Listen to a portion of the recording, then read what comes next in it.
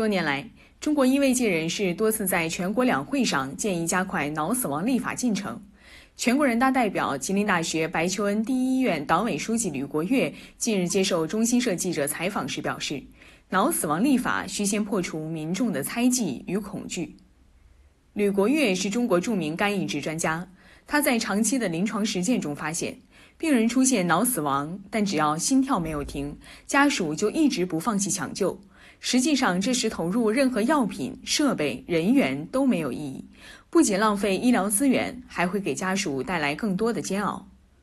吕国月介绍，心肺死亡的判定不是绝对的，尤其是随着器官移植技术的发展，心肺均可移植，并非不可逆器官，但脑仍然是不可逆器官。从这一点上来说，脑死亡判定其实更为准确。呃，落实起来它是有难度的。有难度的一个原因就是，呃，我们居民的这种呃，我们普通百姓的这种认识问题。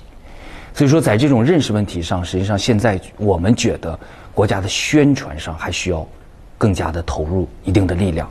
也就是说，让我们的老百姓要知道，他的脑死亡就是一种死亡。但是现在这种理念还没有完全普及，甚至很多人不知道有脑死亡的这种概念。